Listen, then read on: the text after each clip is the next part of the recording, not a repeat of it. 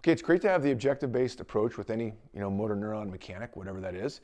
Uh, but let's let, let, let's let's let's let's talk a little bit broadly here about um, how accessible our, our, our skills, our, our, our, mechanics are to meet those objectives. And what I mean by this is I, I look at um, this topic as, as a little grid, a little, little you know, three by three axis system where I'll, hopefully I get a good graphic here. But think about your environment, all right? Think about your environment um, uh, which you are operating in. Think about your mental state and your, and your physical state, all right?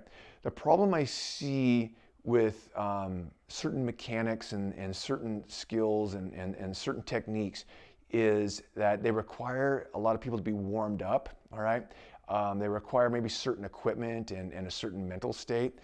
The problem with that is, let's, let's just think about defensive shooting for a second. We need our skills to be there when we are unwarmed up. All right, that's not like basketball or hockey or batting cages or golf or anything like that. Everything else we warm up. Any motor neuron mechanic, any you know physical skill we warm up. Pistol craft isn't like that. We have to have these skills unwarmed up.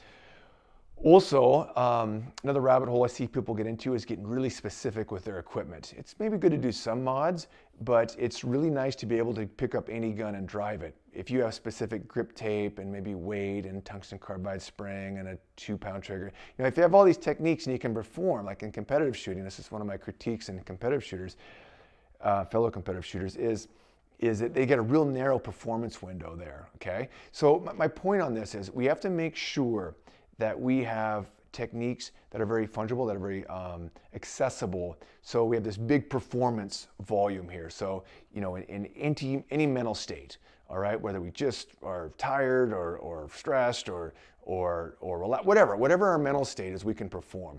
Any physical state, whether even our hands are sweaty or, or we're, we're not warmed up or uncalibrated, I mean, we, we have a big you know, window of performance there. And then the big one in an environment, whether it's cold outside, whether you have different equipment, you know, whether you have grip tape or not grip tape on your gun or whatever.